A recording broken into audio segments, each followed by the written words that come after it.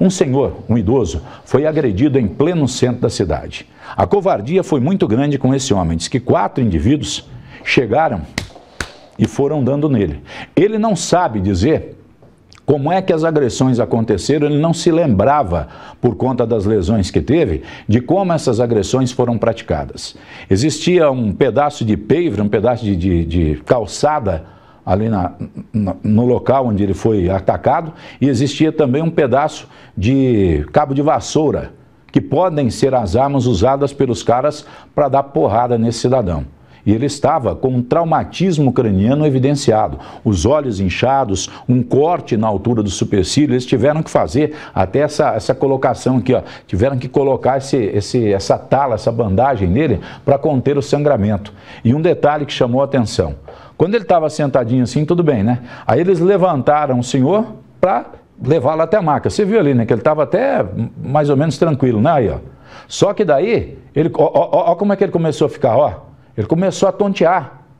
E aí tiveram que, até os, os policiais militares que estavam ali, que foram para o patrulhamento para tentar encontrar os caras, tiveram que ajudar os dois socorristas do SEAT a colocá-lo na maca para que ele pudesse ser encaminhado ao hospital. Bateram e bateram bastante nele. O seu João Luiz Bernardo tem 63 anos de idade e foi vítima de uma agressão violenta em pleno centro da cidade, bem na praça, em frente ao pronto atendimento infantil. Vocês chegaram lá, ele estava até caído no local, né? Na chegada da guarnição ali, estava sentado ali próximo à rua, acompanhado ali da polícia militar. Nós observamos que na hora do atendimento ele quis dar uma desmaiada? É, exatamente, quando a gente foi colocar ele na maca, ele teve um quadro de síncope ali e acabou precisando de um auxílio maior para colocar ele na maca. Os PMs tiveram que ajudar vocês? Exatamente, no momento a gente solicitou um apoio da guarnição da polícia. O que, que ele falou para vocês? Pô, que estava na, na praça e acabou se envolvendo numa briga ali com alguém que estava no local. Não contou por quê? Não, a motivação da agressão ele não, não relatou para a nossa guarnição. Foi uma pessoa só que participou ou teve mais?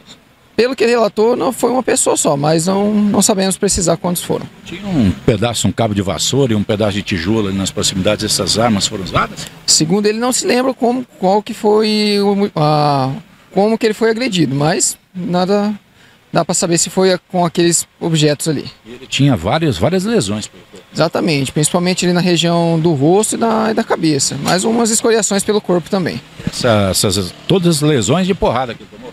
Exatamente. O que mais preocupou vocês? O que mais preocupou ali foi a lesão na face, né, que tinha uma contusão exigomática e um corte na região do supercílio esquerdo ali. Essa queda dele lá, essa quase desmaio dele, também chama atenção? Isso, chama atenção pelo fato de, de, de, ser que não, não ingeriu bebida alcoólica. Então inspirou mais cuidados por conta dessa, dessa síncope que ele teve aí. Vocês tiveram que fazer um, botar faixa na cabeça dele, ele tinha sangramento? Isso, um curativo ali na, na região da cabeça por conta do ferimento que ele tinha na, no supercílio, que estavam... Os olhos ficaram bem inchados, né? Sim, estava bastante inchado no local ali. Agora aqui no Evangelho, o que, que vão cuidar dele? Exatamente, fazer todos os exames, fazer todas as medicações e tratar ele da maneira correta.